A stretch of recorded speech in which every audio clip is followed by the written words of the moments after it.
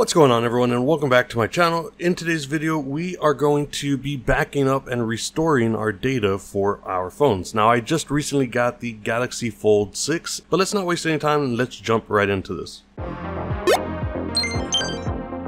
Alright, so first off we're going to pull the screen down and head to our settings on the top right.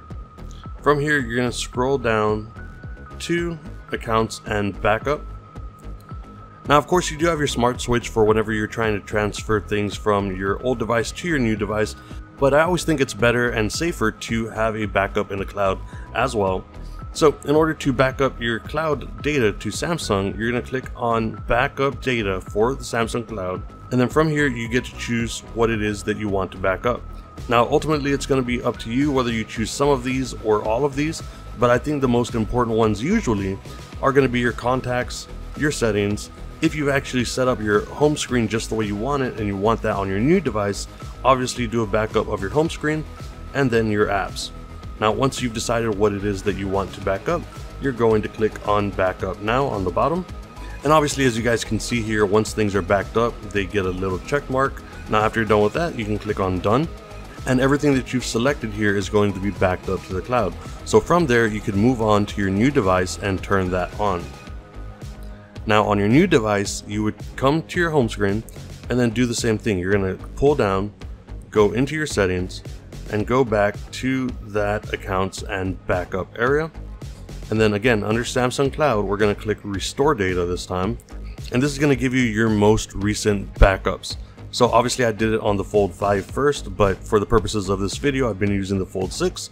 So we're gonna click on whatever your most recent backup is. For me, it's gonna be the Fold 6. Now from here, we have everything that we've backed up before. So we got our call logs, our messages, everything that we have here.